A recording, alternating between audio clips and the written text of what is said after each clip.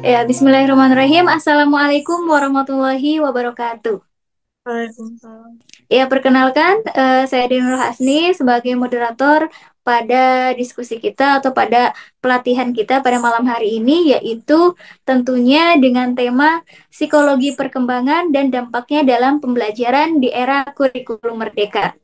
Nah, berbicara kita tentang psikologi perkembangan, tentunya hal ini sangat penting untuk uh, seorang guru pahami agar nantinya dalam proses pembelajaran kita dapat mengetahui proses pembelajaran siswa, proses perkembangan siswa sehingga siswa dapat menerima pembelajaran dengan baik.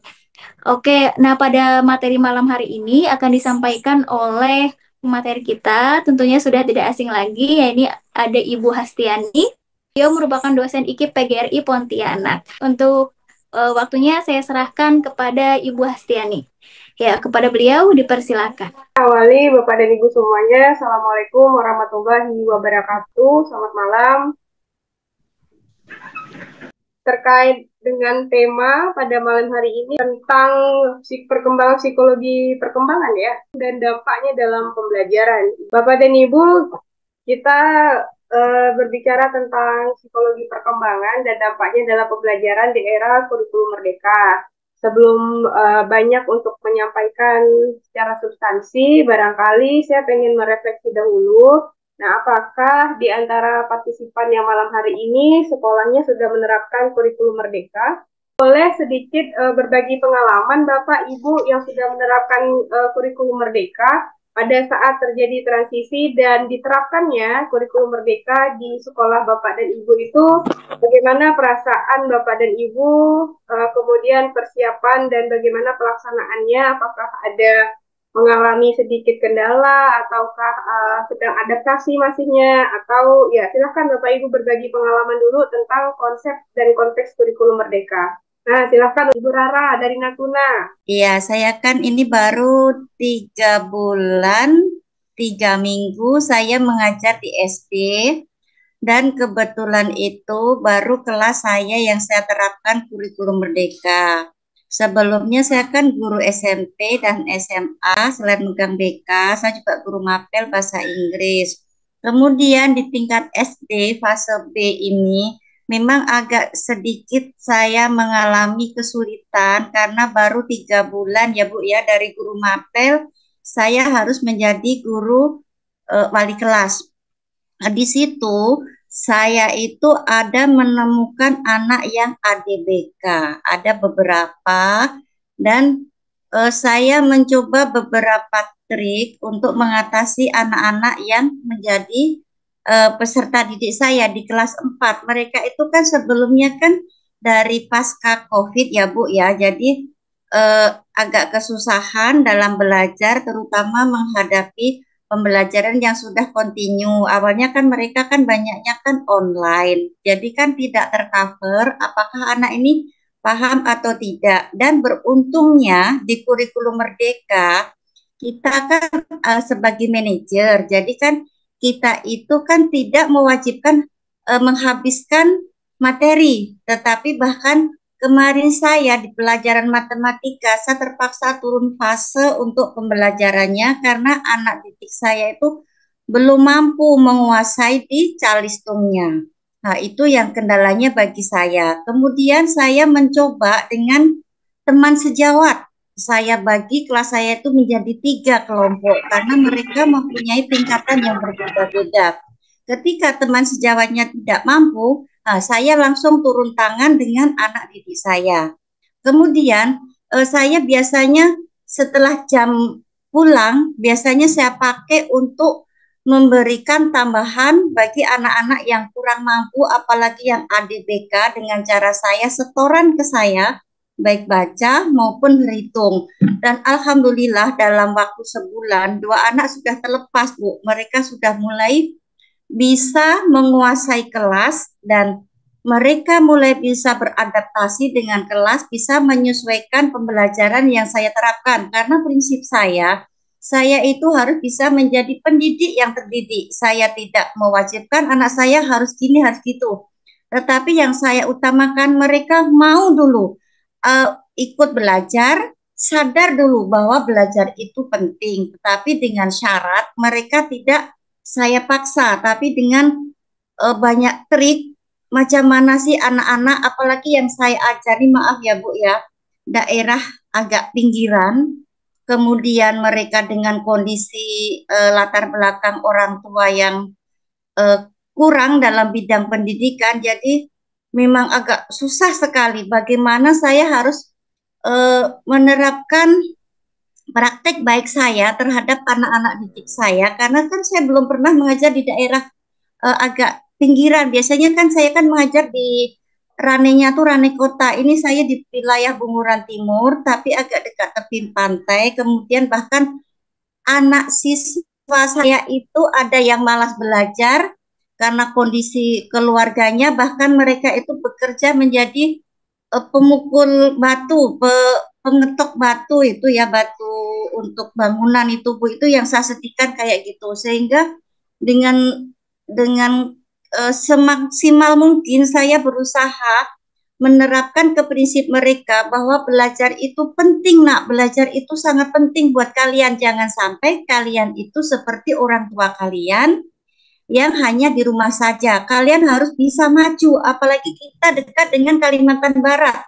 Di situ banyak universitas yang sudah banyak menelurkan uh, para mahasiswa banyak bahwa bahkan banyak sekali PNS di Natuna itu magisternya ngambil di Kalimantan Barat itu uh, praktik baik yang saya ajarkan selama tiga bulan tiga minggu ini Ibu kepada peserta didik saya yang dengan latar belakang yang berbeda-beda, ada yang dengan ADBK, ada yang dengan latar belakang broken home dan sebagainya. Terima kasih Ibu, demikian pengalaman saya.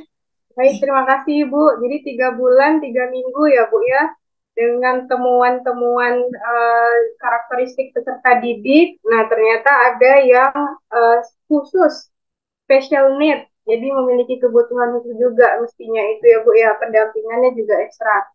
Nah, terkait dengan substansi kurikulum merdekanya gimana Bu? Dipahamin apakah mengalami kendala ataukah bagaimana? Masih ada uh, Iya, untuk untuk menerapkan kurikulum merdeka uh, awalnya saya mencoba mengikuti kurikulum itu kurikulum sesuai fase B, fase kelas 4. Tetapi karena ada beberapa materi itu yang agak tinggi, jadi saya coba turunkan dulu, Bu ketika oh, anak itu sudah mampu di materi itu saya kembali ke materi itu tersebut. Jadi saya pilih materi-materi tersebut sesuai dengan dengan kemampuan anak-anak didik saya agar mereka itu bisa lebih mudah untuk menerima. Bahkan saya kebanyakan mengajarnya itu dengan praktik. Uh, nanti teori sebentar, kadang anak saya bawa turun ke lapangan. Uh, kita coba, misalnya pelajaran IPAS, magnet atau energi energi matahari. Bagaimana sih pengaruh uh, energi matahari ke tubuh kita uh, ke benda-benda kita atau mungkin uh, uh, perubahan wujud? Kita bawa es batu kita kasih es uh, air panas kemudian itu perubahannya seperti apa? Dengan seperti itu saya mencoba menerapkan pembelajaran kurmer terhadap anak didik saya sehingga dengan begitu anak-anak tuh akan mudah menerima karena kita praktek langsung terjun langsung ke uh, teori tersebut.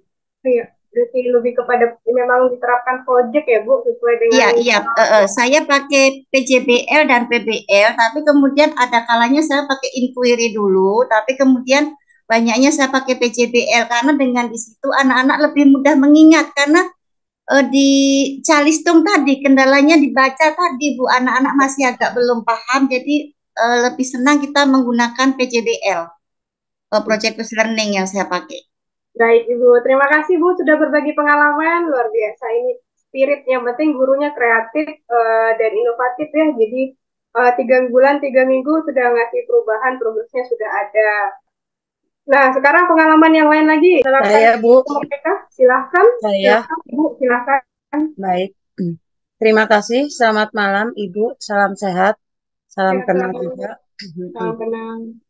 Ya, saya kebetulan eh, tahun ini adalah tahun kedua dalam kurikulum Merdeka. Di tempat saya dalam kurikulum Merdeka itu anak-anak lebih lebih ini ya, lebih kreatif, lebih aktif ya Apalagi ketika modul ajar itu uh, sebelum pembelajaran kan kita ada motivasi karena uh, menggunakan IT jadi anak-anak lebih semangat untuk belajar.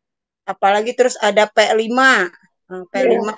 yang kearifan lokal gaya hidup berkelanjutan mereka lebih kreatif untuk menghasilkan satu satu karya satu produk dan ketika mereka uh, pembelajaran pun lebih senang gitu. Uh, jadi kurikulum merdeka itu membawa perubahan bagi saya dan peserta didik saya umumnya gitu.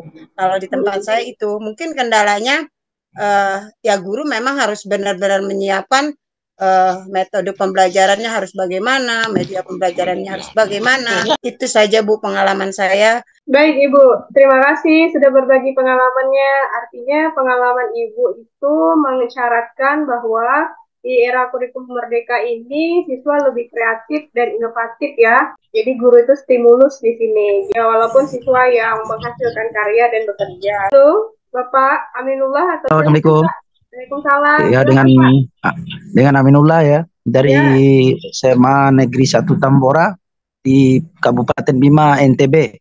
Ya. Untuk penerapan kurikulum merdeka pada sekolah kita ini sangat sulit, Bu karena akses jaringannya tidak ada ya karena dituntut kurikulum merdeka ini adalah bagaimana cara menggunakan teknologi yang begitu pesat untuk kemajuan zaman saat ini.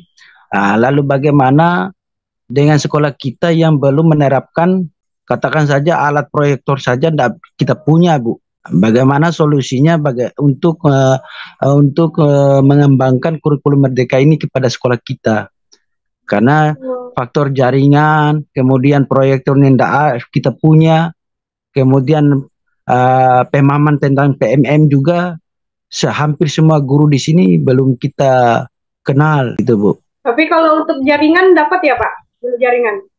Jaringannya bah, masih rusak Bu karena baru-baru ini aja baru dipasang towernya. Karena kita ini daerah hmm. terpencil Bu, daerah 3T. Hmm. Jadi iya. belajarnya iya. di sana kurikulumnya masih apa Pak? Kurikulum di sana apa Pak? Uh, anjuran pemerintah kan kelas satunya, kelas 10-nya itu kurikulum merdeka, kelas 2, 11, 12-nya kurikulum ya. 2013. Jadi uh, siap nggak siap karena tuntutan kebijakan harus ya jadi uh, sehingga anak-anak uh, di sini ini jadi ya banyak kan ke gunung ya kadang-kadang setiap hari kita itu harus mencari anak siswa ini untuk diajarin hmm. karena faktor daya dukung orang tuanya kepedulian orang tuanya kurang sekali minim sekali itu ya Pak ya baik mudah-mudahan malam ini Bapak Ibu bisa menemukan inspirasi untuk berbagi praktik baik terutama pada landasan psikologi perkembangan dan dampaknya dalam pembelajaran di era kurikulum merdeka.